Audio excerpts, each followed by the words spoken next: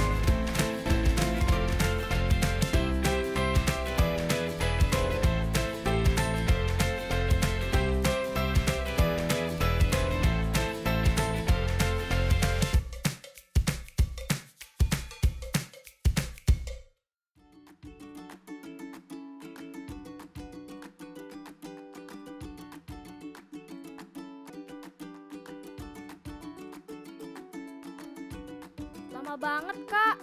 Dimas duluan ya. Dah. Hai, selamat pagi teman-teman kelas 5 di seluruh Nusantara. Balik lagi sama aku, Kak Kinan. Bagaimana kabar kalian hari ini? Semoga sehat selalu ya teman-teman.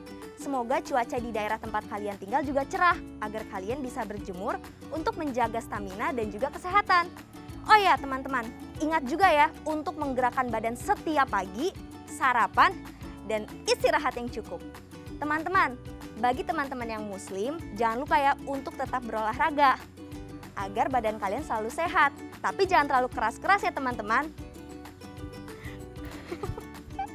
Kakak bilang juga apa? Capek kan? Ingat loh puasa nggak boleh minum. Teman-teman, sebelum kita memulai pembelajaran hari ini, jangan lupa ya untuk berdoa agar ilmu yang kita dapatkan bisa berguna. Berdoa dimulai.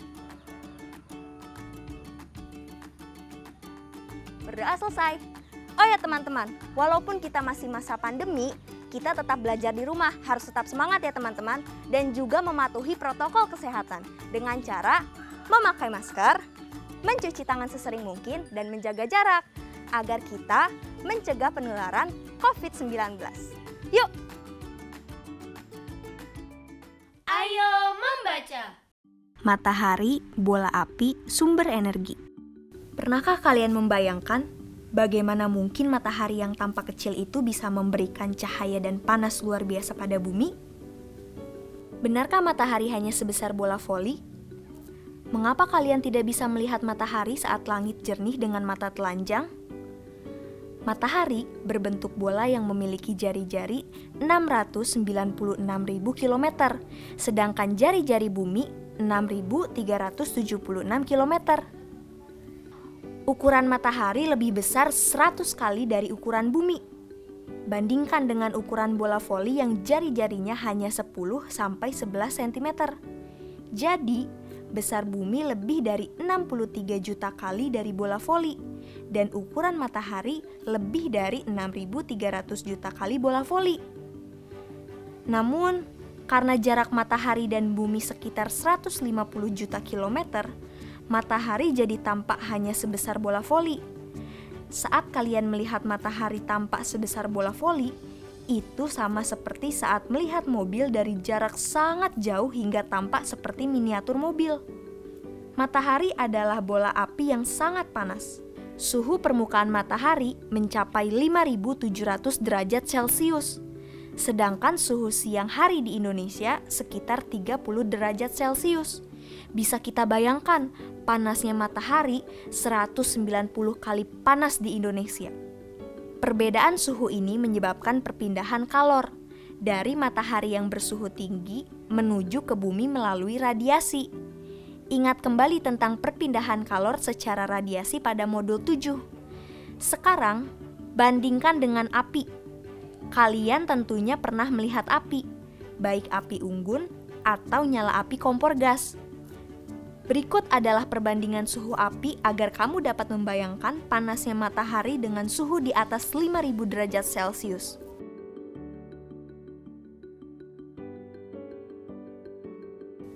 Energi matahari yang berupa cahaya dan kalor akan merambat melalui ruang hampa udara sejauh 150 km selama 8 menit. Karena perjalanan sangat jauh, besaran pancaran cahaya dan radiasi menjadi sangat berkurang. Dengan demikian, semua makhluk di bumi tidak merasakan panas yang sangat menyengat. Saat melihat cahaya lampu 60 watt, pasti matamu berkedip dan menyipit karena silau. Bagaimana jika melihat matahari yang memiliki kekuatan cahaya 2000 kali cahaya lampu 60 watt? Jika seseorang memaksakan diri melihat matahari di siang hari atau saat gerhana matahari, matanya akan rusak. Karena energinya besar, matahari sangat dibutuhkan semua makhluk hidup dan juga alam. Jika tak ada matahari, selamanya alam akan mengalami gelap, dingin, dan beku. Tanpa cahaya, manusia tidak bisa melihat benda apa pun. Tanpa panas, manusia, hewan, dan tumbuhan tidak tumbuh dan berkembang dengan baik. Fakta yang paling menarik adalah matahari memiliki gaya gravitasi sangat besar, yaitu 28 kali gravitasi bumi. Itu yang menyebabkan bumi dan seluruh planet, satelit planet, asteroid, dan benda-benda langit lain tetap berada di garis edar secara teratur tanpa gravitasi matahari, bumi akan beredar di ruang angkasa secara bebas dan beresiko bertabrakan dengan benda langit lainnya. Kamu tentu dapat membayangkan jika matahari tidak memiliki gravitasi. Tata surya menjadi tidak teratur dan kehidupan manusia akan menjadi kacau. Menanggapi bacaan. Setelah menyimak bacaan matahari bola api sumber energi tadi, sekarang berikan jawaban dan pendapat kalian pada pertanyaan berikut ini. Pertama, apa yang terjadi jika jarak matahari dan bumi hanya 50 juta kilometer?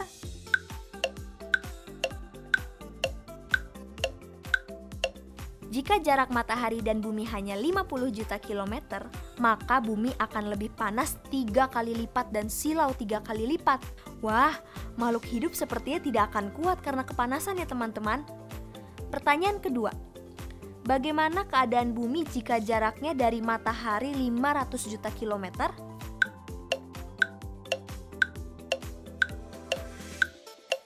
Keadaan bumi jika jaraknya dari matahari 500 juta kilometer adalah sangat dingin dan gelap karena kekurangan cahaya.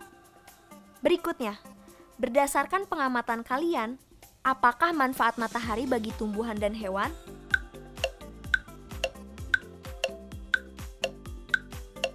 Manfaat matahari bagi tumbuhan dan hewan di antaranya satu, Sebagai sumber cahaya Kedua, menghangatkan tubuh hewan Ketiga, menjadi bagian dari proses fotosintesis pada tumbuhan. Yang keempat, mengeringkan tanah agar akar tumbuhan tidak membusuk jika terlalu banyak air, dan lain sebagainya. Pertanyaan terakhir, apa yang menyebabkan bumi dan seluruh planet, satelit planet, asteroid, dan benda-benda langit lain tetap berada di garis edar secara teratur?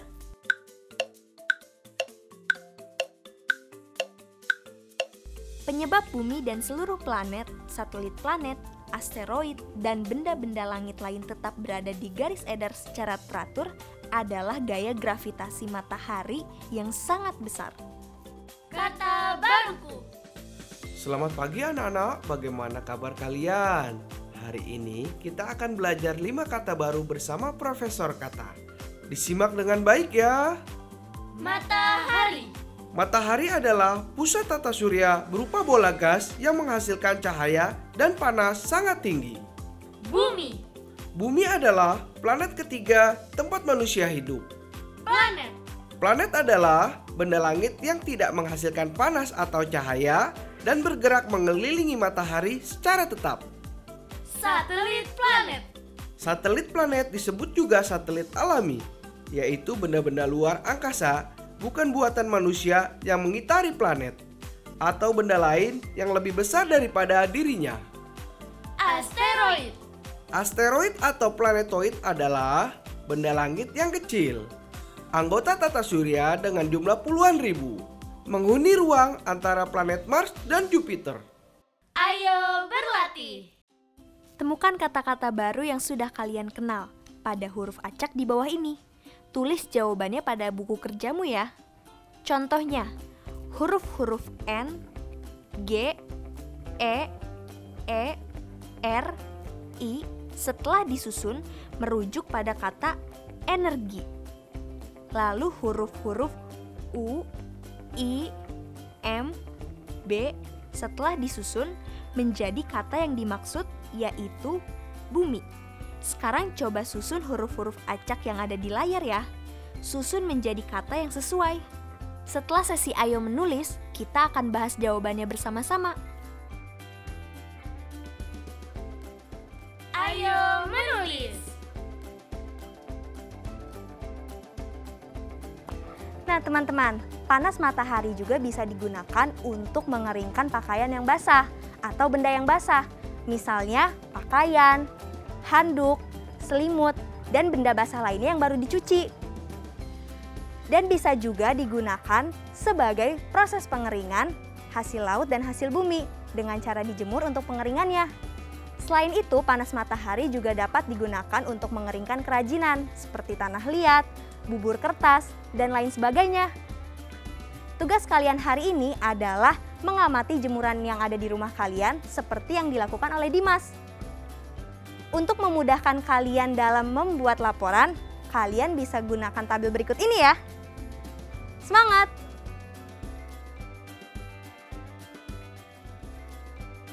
Setelah tadi kalian sudah mencoba menjawab pertanyaan di Ayo Berlatih sendiri, sekarang saatnya kalian cocokkan jawabannya. Nomor satu, jawaban yang benar adalah satelit. Kemudian jawaban yang benar untuk soal nomor dua adalah asteroid. Dan jawaban yang benar untuk soal ketiga adalah planet. Soal nomor empat, jawabannya adalah matahari. Terakhir, untuk soal nomor 5, jawaban yang benar adalah cahaya.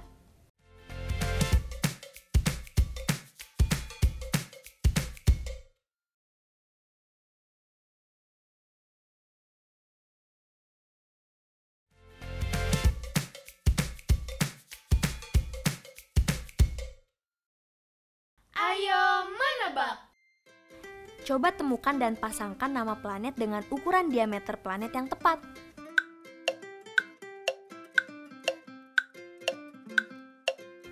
Sekarang kita pasangkan jawabannya ya. Yang pertama adalah bumi. Bumi berukuran diameter 12.745 km. Lalu Merkurius berukuran 4.880 km.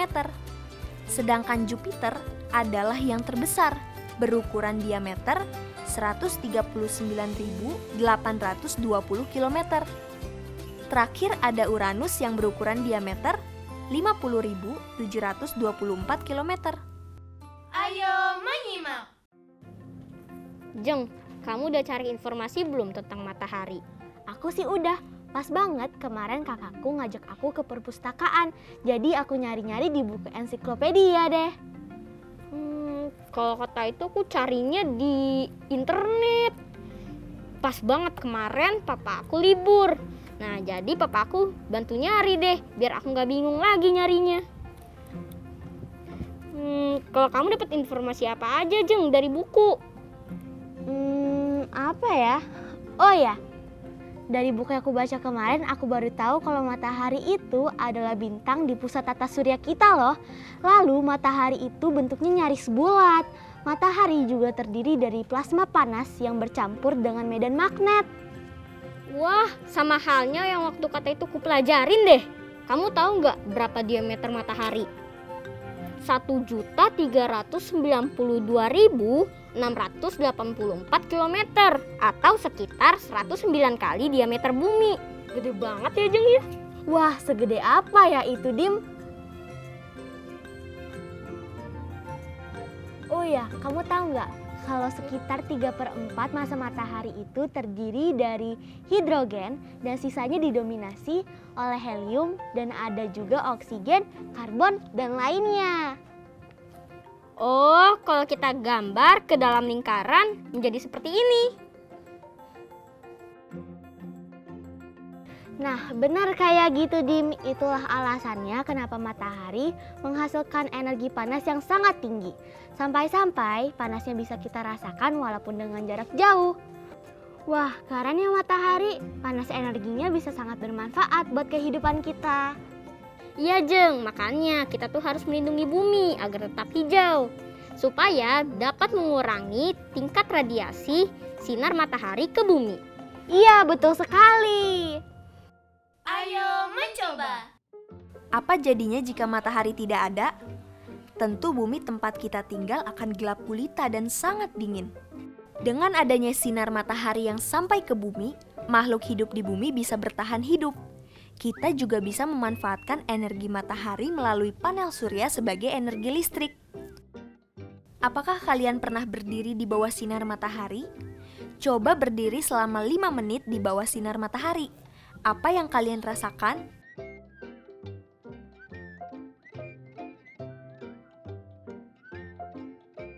Sepertinya Dimas merasa kepanasan tuh.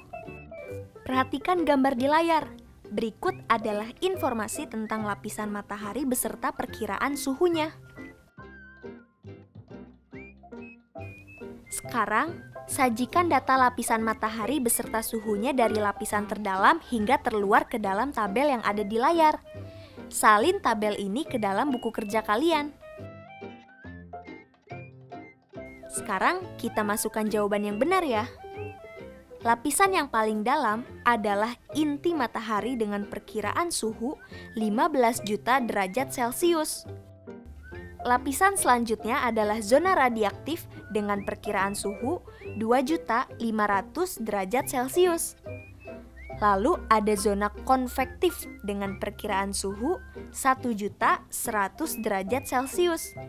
Keempat, ada fotosfer dengan perkiraan suhu 5.500 derajat Celcius. Kelima, ada kromosfer dengan perkiraan suhu 7.000 derajat Celcius. Keenam, ada corona dengan perkiraan suhu 5 juta derajat Celcius. Setelah kita menyusun data ke tabel, sekarang jawablah pertanyaan berikut ini. Lapisan matahari yang memiliki suhu tertinggi adalah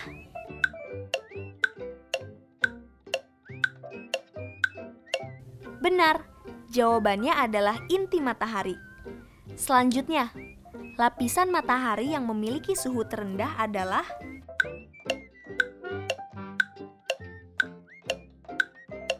Kamu benar, jawabannya adalah fotosfer. Soal selanjutnya, perbedaan suhu antara lapisan inti matahari dengan korona adalah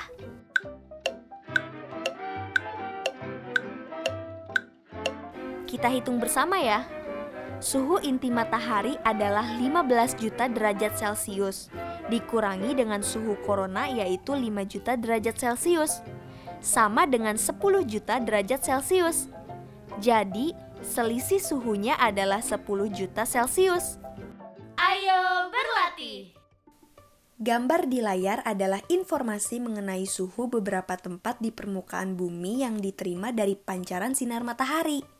Ada gurun Sahara dengan suhu 45 derajat Celcius, Tokyo dengan suhu 12 derajat Celcius, Sydney dengan suhu 28 derajat Celcius, Jakarta dengan suhu 34 derajat Celcius, Paris dengan suhu 4 derajat Celcius, Alert dengan suhu minus 15 derajat Celcius, dan Rio de Janeiro dengan suhu 32 derajat Celcius. Pertanyaan pertama, tempat mana yang menerima cahaya matahari paling banyak? Benar, jawabannya adalah Gurun Sahara. Lalu, berapa perbedaan suhu pada tempat yang menerima pancaran matahari terendah dengan kota Sydney? Kita bahas bersama ya. Kota Alert adalah tempat yang menerima pancaran matahari terendah, yaitu minus 15 derajat Celcius. Untuk mencari perbedaan suhunya dengan kota Sydney, kita tinggal mengurangi suhu kota Alert dengan suhu kota Sydney. Sama dengan minus 15 derajat Celcius dikurangi 28 derajat Celcius. Hasilnya sama dengan minus 43 derajat. Jadi, kita ketahui perbedaan suhu kota Alert dan kota Sydney adalah minus 43 derajat Celcius. Soal terakhir, bagaimana urutan tempat berdasarkan penerimaan cahaya matahari terbanyak hingga sedikit? Urutan tempat berdasarkan penerimaan cahaya matahari terbanyak hingga paling sedikit adalah Gurun Sahara, Jakarta, Rio de Janeiro, Sydney, Tokyo, Paris, dan yang terakhir adalah Alert. Proyek kreatif minggu ini. Hai teman-teman kelas 5, seperti biasa setiap minggunya kita akan membuat proyek kreatif mingguan bersama. Nah, untuk minggu ini kita akan membuat gambaran tentang sistem tata surya kita loh teman-teman. Nah, untuk tugas hari ini, kalian diminta untuk membuat tabel yang berisi urutan nama planet-planet yang ada di sistem tata surya kita dengan benar. Apabila kalian mengalami kesulitan, kalian dapat meminta bantuan orang dewasa di sekitarmu ya teman-teman. Selamat berkarya! Nih, ini tuh Refleksi. Sebelum kita menutup pelajaran hari ini, seperti biasa, kita akan melakukan refleksi pelajaran hari ini terlebih dahulu. Di episode kali ini, kita belajar banyak tentang matahari dan bagaimana kehidupan apabila tidak ada lagi matahari. Kita juga belajar kosakata baru bersama Profesor Kata. Selain itu, belajar tentang seberapa besar matahari dibandingkan dengan bumi, serta belajar menyajikan data dalam bentuk tabel. Loh, pembelajarannya udah selesai? Udah dong kak. Wah, nggak terasa ya teman-teman, sudah hampir 30 menit kita belajar bersama hari ini. Bagaimana perasaan kalian belajar hari ini? Apakah senang? Atau bingung? Atau kesal? Nah teman-teman, kalau aku sih pastinya seneng banget teman-teman. Karena aku hari ini sudah belajar banyak hal. Apabila kalian masih kurang memahami pelajaran hari ini, jangan sungkan ya untuk bertanya kepada orang tua, wali, atau guru kalian. Kalau gitu, aku Kak Kinan pamit dulu ya. Dadah! Dah.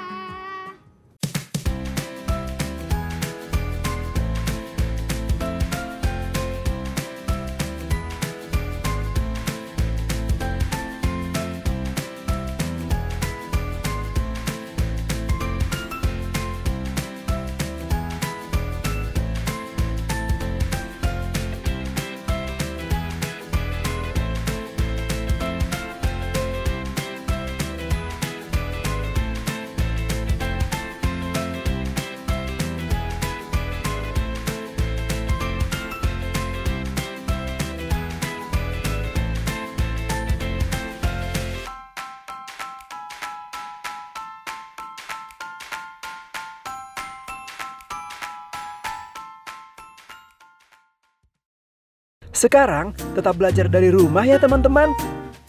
Jaga jarak, rajin cuci tangan, dan pakai masker agar kita mencegah penyebaran COVID-19. Sampai jumpa.